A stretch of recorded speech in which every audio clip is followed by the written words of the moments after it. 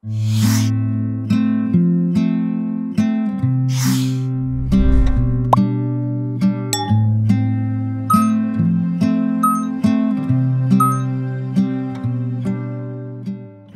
saat kita melihat orang sukses di bidang mana pun, sering kita berasumsi bahwa orang-orang tersebut memiliki kepintaran atau memiliki talenta atau keahlian yang luar biasa.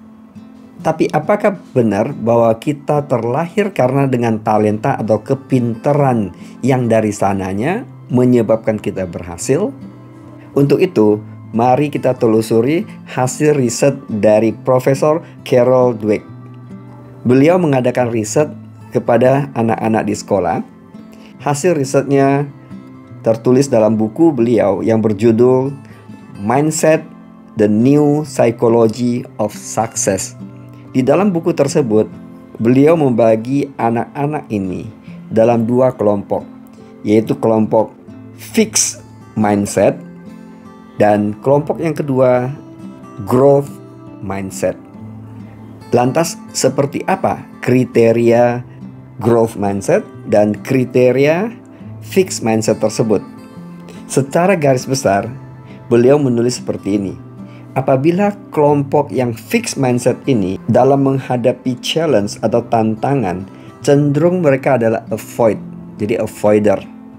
Sementara kelompok yang growth mindset itu justru mereka maju menghadapi tantangannya. Dan dari situ mereka selalu terus mencari jawaban. Dan kelompok yang fixed mindset ini pada saat menghadapi obstacles atau problem gitu, mereka cenderung gampang sekali menyerah. Sementara kelompok yang growth mindset ini, mereka pada saat menghadapi seperti itu obstacle, mereka persisten dalam hal ini, persisten dan mencari solusi, mencari jalan keluar untuk menghadapi problem tersebut. Kelompok yang fixed mindset tersebut, mereka biasanya kurang berusaha. Sementara yang growth mindset ini, mereka terus melatih diri mereka menghadapi segala macam tantangan. Dan kelompok fixed mindset ini tidak tahan terhadap kritikan. Mereka pada saat dikritik atau ada feedback, mereka cenderung tutup diri Sementara kelompok yang growth mindset itu, pada saat ada kritikan datang ke mereka, mereka melihat itu adalah kesempatan untuk memperbaiki kekurangan yang mereka miliki.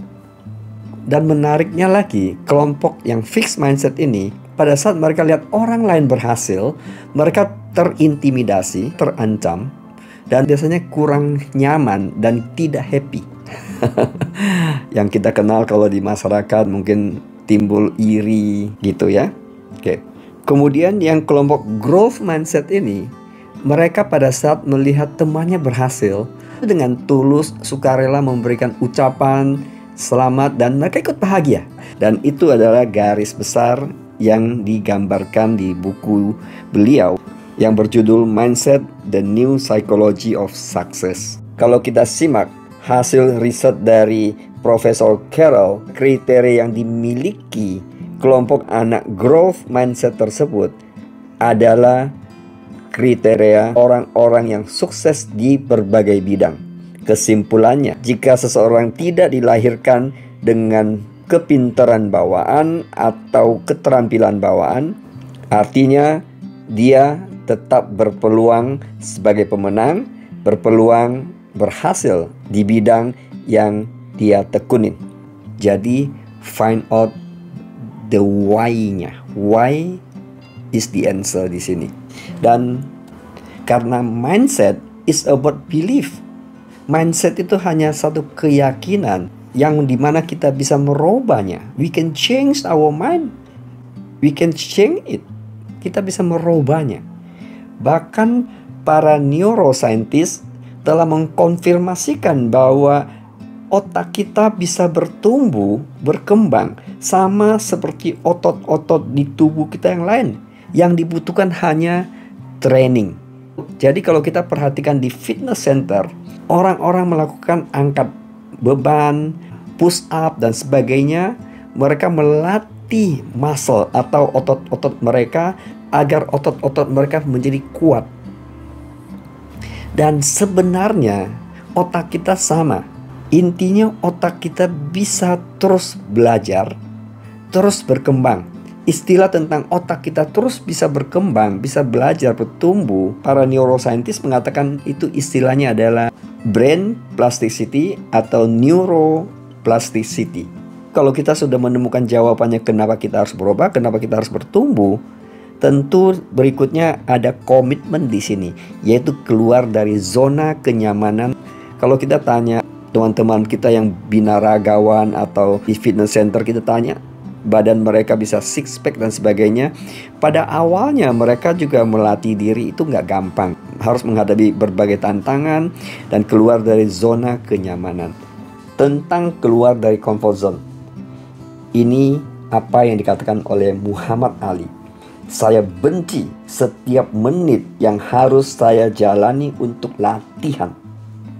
Tetapi saya berkata, jangan berhenti sekarang menderitalah sekarang dan hiduplah seterusnya sebagai seorang pemenang. Apa yang dimaksud oleh Muhammad Ali tersebut? Kalau kita simak, makna sesungguhnya dari Muhammad Ali adalah temporary pain, kesakitan yang sifatnya sementara saja. Karena dia bilang, hiduplah seterusnya sebagai seorang pemenang. Muhammad Ali sudah tidak ada di bumi ini. Tapi sebagai champion kontribusinya ke bidang olahraga dia dan menjadi ikon di bidang olahraga tinju yaitu harga yang telah Muhammad Ali bayar. Satu hal tentang belajar, khususnya belajar apa pun yang kita tanamkan ke kita punya bawah sadar khususnya subconscious mind gitu dan data itu simpan ke mana pun sampai kapan pun. Persis peribahasa Tiongkok mengatakan seperti ini.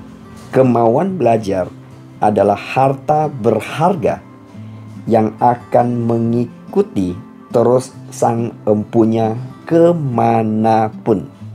Berarti kalau saya mendapatkan satu ilmu atau satu skill tertentu di mana saya telah memiliki skill atau keterampilan atau kemampuan tersebut, saya bawa ke mana pun. Oleh sebab itulah sekelompok orang yang bijak mereka menginvestasikan sejumlah uangnya bukan untuk membeli jam tangan yang mahal, tas yang mahal, baju yang mahal, tapi mereka menginvestasikan untuk fit the mind dalam bentuk buku-buku, dalam bentuk seminar, training, dan program-program belajar baik di sekolah, universitas maupun di luar universitas tentang belajar dan zona nyaman, saya bisa kutip kisah yang juga ada di buku saya Value Your Life.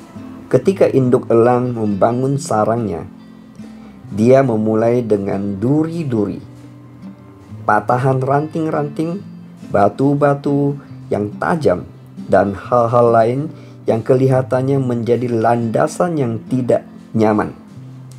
Namun kemudian ia melapisi sarang itu dengan lapisan wall. Wall tanda kutip ya, tentu yang dimaksud di sini wall bukan wall yang ada di rumah kita. yang dimaksudnya adalah bulu-bulu yang tebal dari binatang yang sudah dibunuhnya. Sehingga sarang itu menjadi empuk dan nyaman untuk bayi-bayi elang yang nantinya menetas dari telur-telur yang dieraminya. Pada saat elang-elang kecil itu mencapai umur bisa terbang, kenyamanan sarang dan kemewahan makan gratis yang dibawakan induknya membuat mereka enggan untuk pergi. Itulah saat ketika si induk elang mulai mengacak-ngacak sarang itu. Ditariknya lapisan bulu-bulu yang empuk sehingga dasar sarang dipenuhi batu-batu dan ranting-ranting yang tajam. Karena sarang menjadi semakin tidak nyaman, bagi si elang-elang kecil, hal ini mendorong mereka meninggalkan rumahnya dan beralih ke kemerdekaan yang lebih besar, menggepakkan sayapnya dan terbang. Perasaan tidak nyaman dapat memotivasi kita untuk bertumbuh dan berubah. Seperti induk elang yang memotivasi anak-anaknya untuk meluncur terbang dan bertumbuh mengembangkan segenap potensi mereka.